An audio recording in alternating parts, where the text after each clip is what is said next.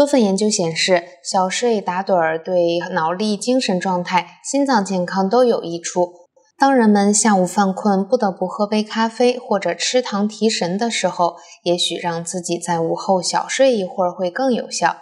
美国国家睡眠基金会的报告建议，成年人每晚应有七到九小时睡眠，而国家疾病控制中心和预防中心的一份调查显示。美国四千万劳动者每晚睡眠时间不足六小时。近期一份发表在《睡眠研究》杂志上的研究显示，白日里小睡一会儿有助于提升认知力和精神状态，哪怕只有几分钟至十分钟都很有效。一些临床生理学研究者发现，午后小睡二十分钟有助于在一天剩下的时间里仍保持最佳的状态。